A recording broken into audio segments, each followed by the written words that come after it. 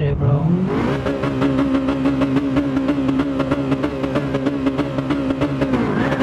I have a big ass scratch, bro, and shit.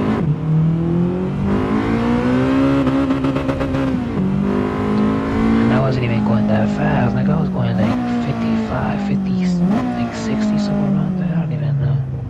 Making sad. And, uh, yeah, matter of fact, bro, I'm gonna.